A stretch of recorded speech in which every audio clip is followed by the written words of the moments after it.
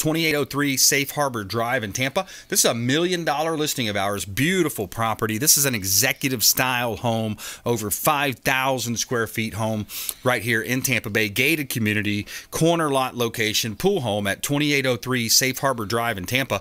$1.159 million, 5,253 square feet, five baths, three full, got two halves. Got a gorgeous estate style home here, granite countertops, new appliances, pool, heated spa, large fenced in corner lot and a large master suite and the spiral staircase as well as a uh, you got an elevator built in as well 2803 safe harbor drive in tampa one of our executive style listings here in beautiful tampa bay